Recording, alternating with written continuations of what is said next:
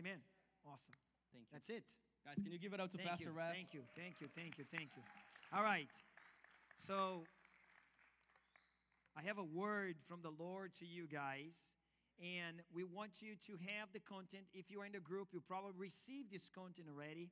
And it's a word that the Lord gave us um, a few months ago. And there is this fresh approach in this message.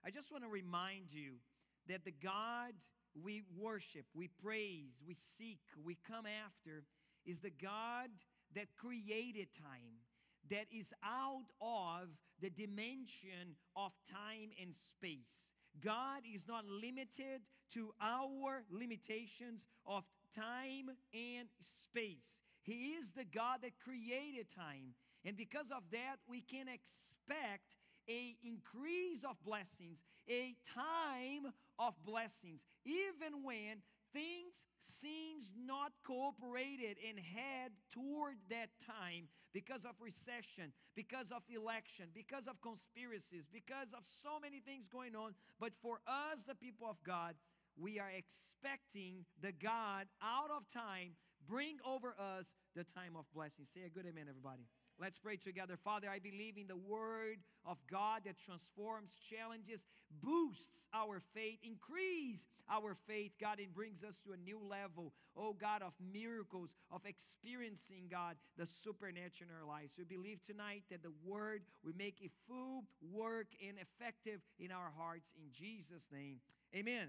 Amos chapter 9, verse 13 says, Behold, the days are coming, declares the Lord, when the plowman shall overtake the reaper. How's that is even possible?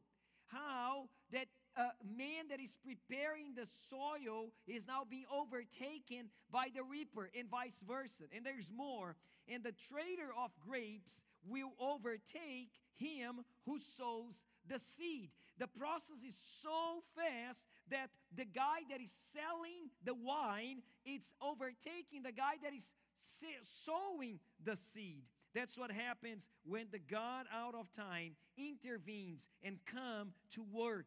That happened with Joseph. You all remember the story. Joseph in one night is slept in the jail, in the prison, but in a glimpse of a time, he was raised as the second in command in Egypt. How is that even possible? Because the God out of time has released upon Joseph and upon, upon everyone who believes a time of blessings and accelerated blessings. Maybe you are saying, I have been fighting with this enemy for so many years, Pastor. I'm fasting about this matter for so many years. Since I joined Vine Church, I'm praying for this every cycle of fasting, and I don't see things taking place. But tonight, I want you to let this negative attitude out of your faith because the Lord has decided to expedite process in your lives. And I'm telling you, if you never experienced any miracles in your fasting prayer campaigns in the past, you are sitting right now in a chair that is a very proof that 21 days of fasting prayer really works like we remember, we are praying for the, uh, what was the name? 21 days of conquer. You guys remember? Conquering. And God gave us, the Lord really gave us in this miraculous way this amazing building. So I don't know about you, but I am expectant in a supernatural increase of blessings, accelerated blessings in my life. Let me read again Amos chapter 9, verse 13, but now in the message version. This is a paraphrase version written by Eugene Peterson, great theologian. He already passed, but look what he says. He says, Yes, indeed, it won't be long now. God's decree. Say with me, God's decree. Things are going to happen so fast that your head will swim. No, thing fast. One thing fast on the heels of the other. Won't, you won't be able to keep up. Say amen, everybody. You won't be able to keep up. Everything will be happening at once. And everywhere you look, blessings. Close your eyes. Everywhere you're going to look during these 21 days, you will see blessings blessings like wine pouring off the mountains and hills. I will make everything right again for my people Israel. They will rebuild their ruined cities, they will plant vineyards and drink food uh, good wine, they work their gardens, and eat fresh vegetables. I believe we are entering in such a time. The favor you don't deserve is coming, and it's called grace. Yes, Usually, it takes a process to get that position in your workplace. I know that usually it takes a time that your body heals with the medicine you're taking. I know sometimes it takes some time for you to actually get that specific blessings or open doors. But when the God out of time decided to release a time of blessings, everything takes place at once. At once. Now, for that, we must be discerning of time. Now, the Bible says about the tribe of Issachar, a very interesting tribe with a very interesting gift. The Bible says in First Chronicles chapter 12 that the tribe of Issachar had the ability to discern the times, to know the times, to understand the times, and made that understanding known for the whole nation of Israel. Tonight, as an Issachar member, I'm telling you, there is a time of blessings coming upon your family, coming upon your ministry, coming upon us as a church. You can't be out of that.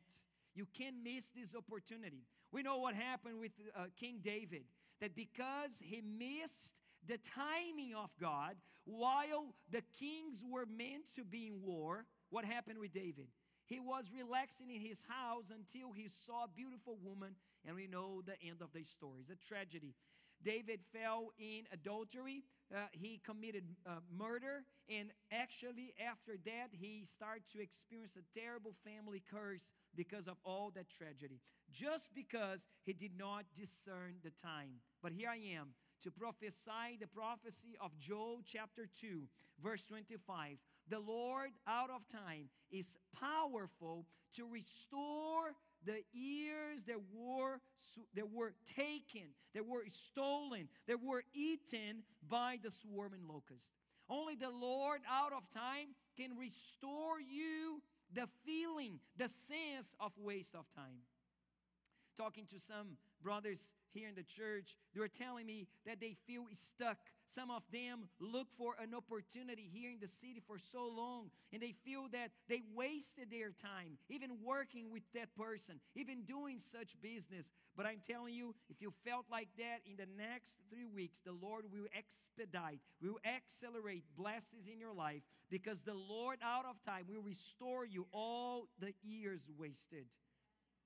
You don't know how He works. We don't need to know how it works, but we need to know that the Lord out of time can control the time in our favor because He's the God of acceleration. The Word of God repeatedly says that we must be patient.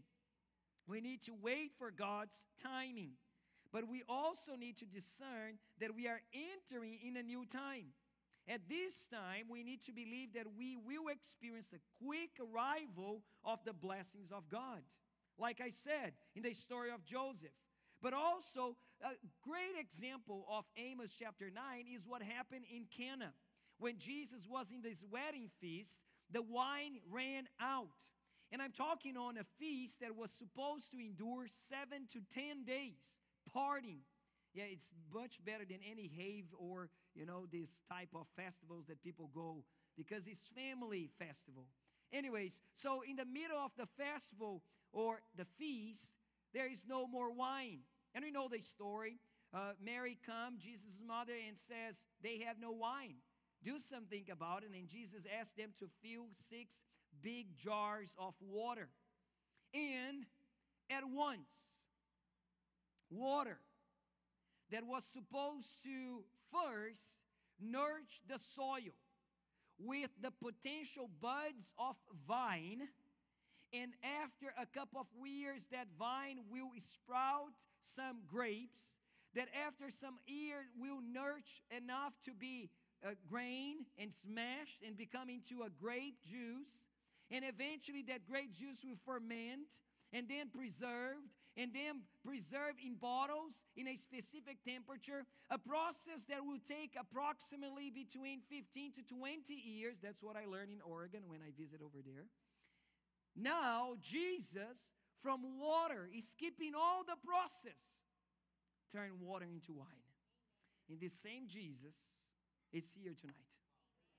The same Jesus that wants you, listen to what I'm saying, that wants you to experience a feast in your life, a feast type of lifestyle. He is here tonight.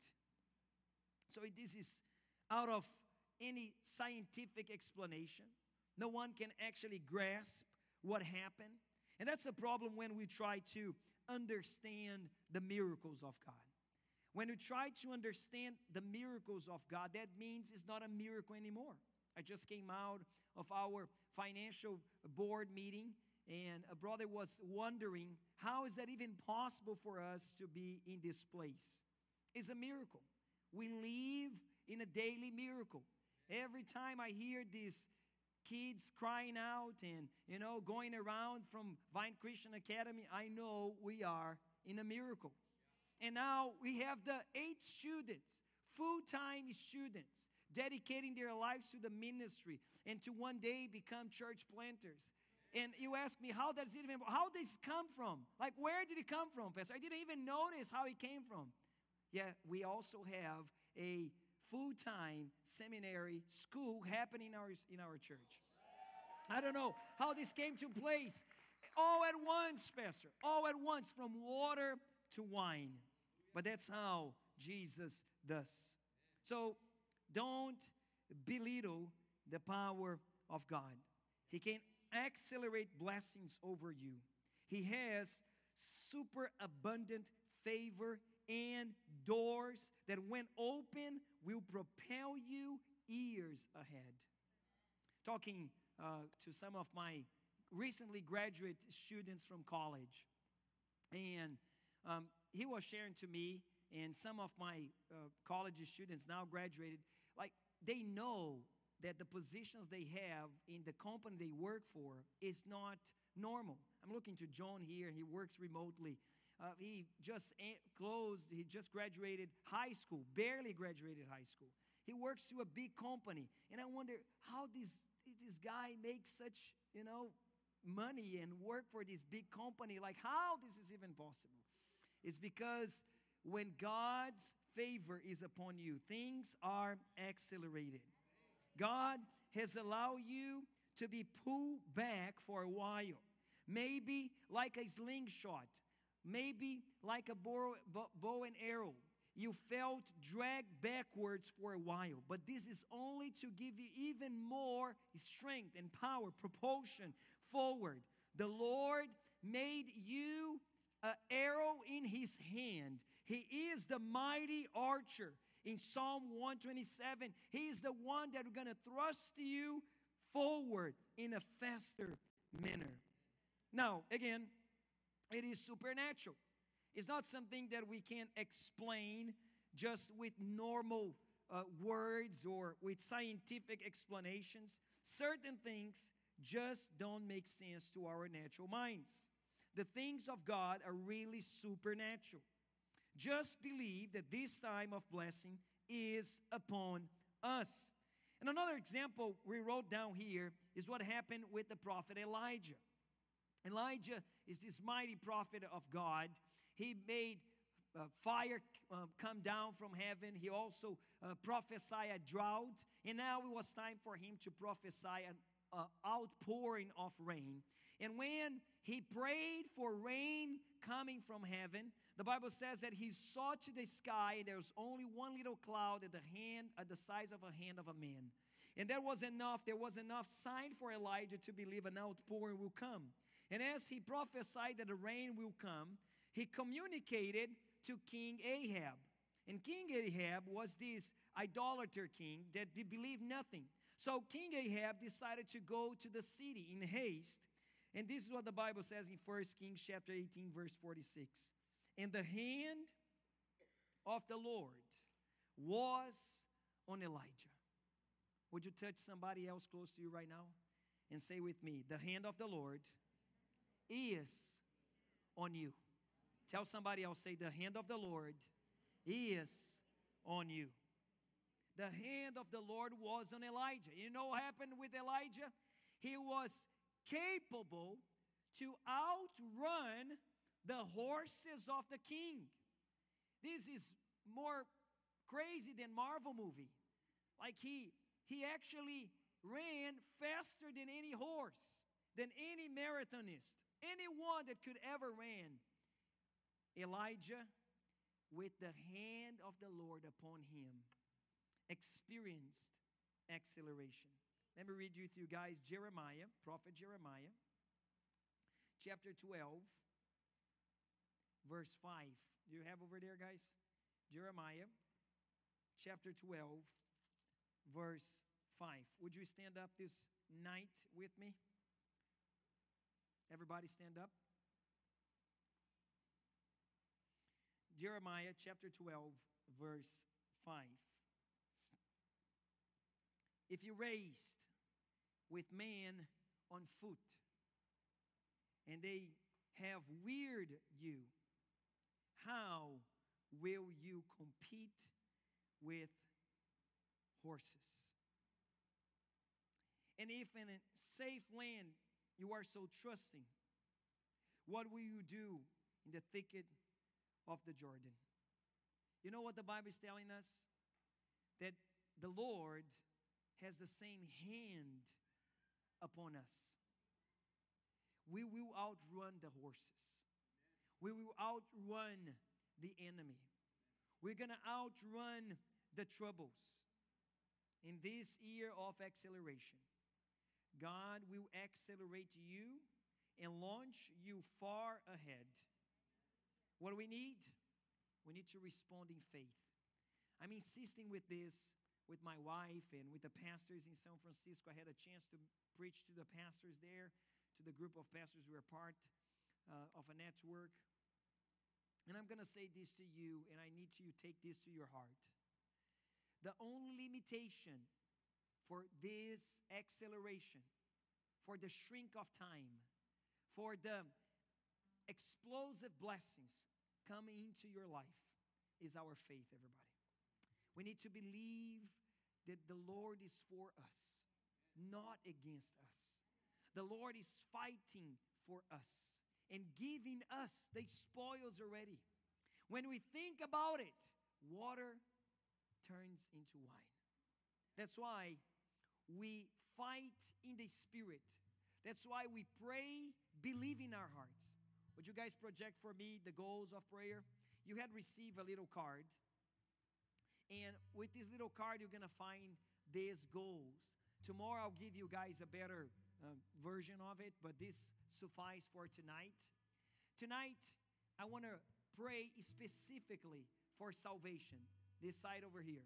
Salvation to take place in your family, salvation to take place in our life groups. Tonight, I want to pray for salvation, believing that the Lord will really expedite the growth of our church. And I know that together with this, the Lord wants to release upon your life blessings. Would you pray with me for the next? Let's pray for the next three minutes together. Find somebody else to agree with you. We're going to just pray for salvation. That salvation will take place in our church, in our life groups, in our families, in our workplace. Let's believe together for a time of salvation taking place. And after that, I have a special prayer for you. Join with somebody.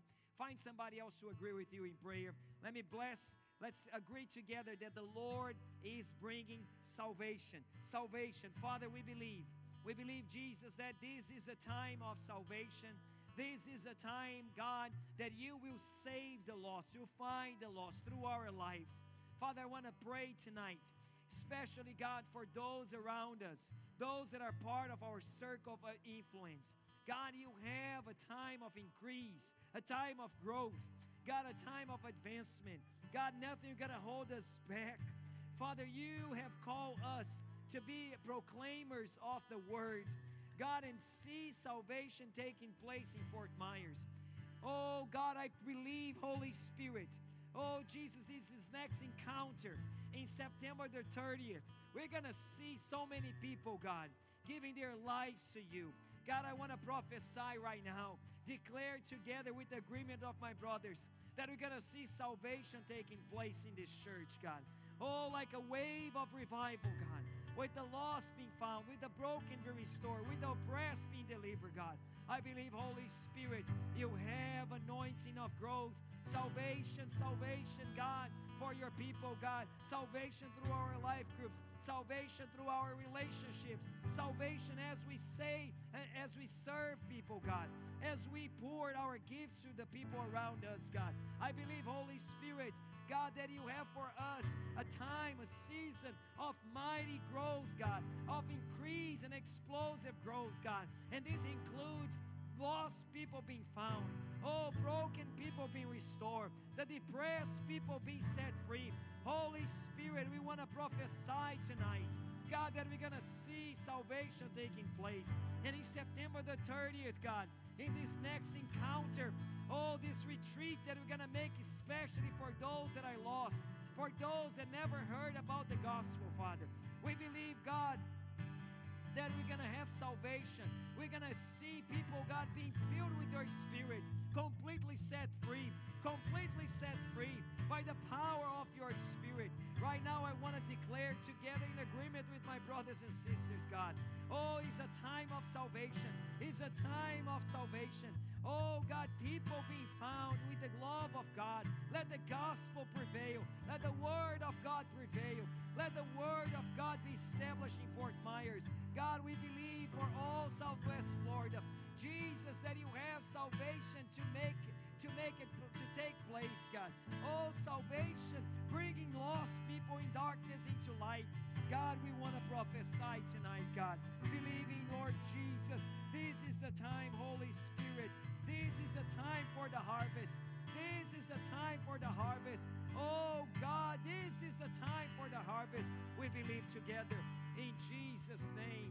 In Jesus' name. Would you believe with me? Say amen, everybody. Amen. Praise the Lord. Now, I want you to raise one of your hands. I want to pray a special prayer for you that needs an increase in your finances. I believe that today the Lord is giving us faith to believe in opportunities out of time with no explanation. I believe the Lord is to arrange in the supernatural realm connections, clients, opportunities. God is to give you bright ideas. God is to give you the right solution for the business. And you're to be promoted. You're to receive that raise in your salary. The Lord is declaring upon you, He has decreed upon you, everything will come to your life at once. You guys believe with me? Come on. Raise your hands. Let me bless you, Father. I believe. I believe in an increase of finances upon your people, God. Oh God, here it is a people that is generous, a people that is selfless, a people, God, that wants to experience this blessing as a visual, as a tangible testimony to their families and friends, God, that you are a good God. You are a God of abundance. Oh God, for your children there is no lack. Father, so I want to bless my brothers and sisters. Oh Lord Jesus, I believe in an anointing being released in this place, Holy Spirit. Better, better, let's pray better than actually just raise your hands. Would you guys step forward if you are struggling right now in your finances? Would you please take a step forward? Let me lay my hands on you. If you need to have a debt paid, if you need to have an increase in your finances, if you need a miracle in your finances, would you step forward? Let me use this opportunity tonight to pray for you, to pray a specific prayer for you. Come on, step forward. Let's have this step of faith to receive. Amen. And you're going to raise your hands as receiving, like this. Okay, you're not going to raise your hands like this, prophesying. You're going to lift your hands like this, receiving. There you go. Everybody that needs a miracle in your finances, let me pray for you right now. Close your eyes. Oh, Holy Spirit. Oh, Holy Spirit. God Almighty. God, good God. Your word says, if a child asks his father for a food, for a bread, he won't give him a snake. He won't give him a piece of rock. But a good father knows how to give good gifts to your children. Here it is, your children, Father, ready to receive. We know, we are aware, we do not deserve. We have no merits in ourselves, but you decided to bless us, Father. As we step forward, we are declaring that we believe our resources comes from the Father of lights. It comes from you, God. It doesn't come from man. It doesn't come from the natural resources. As we step forward, we are declaring, God, to the spiritual realm, we believe you, Jesus. We believe you, God. Oh, Jireh, Jehovah Jireh, my provider, a God that provides from nowhere, that brings into existence things that did not exist. With your word, God, we have everything we need. We are those that seek the Lord and believe that you exist, that you are. You are the resource. You are the supply. You are the provision. Would you confess this with me? Say with me, I believe my Lord is my provision. My Lord is my need. The Lord prospers me. The Lord opens doors to me. I believe, I increase, I believe an increase of blessings in my finances. I receive by faith in Jesus' name. Come on, let's give a shout of faith together. I believe and receive. Hallelujah. You guys take your seat. Now we're going to give you the Lord's Supper. I want you to take the elements in your hands. Pastor T, join me here in the stage, please.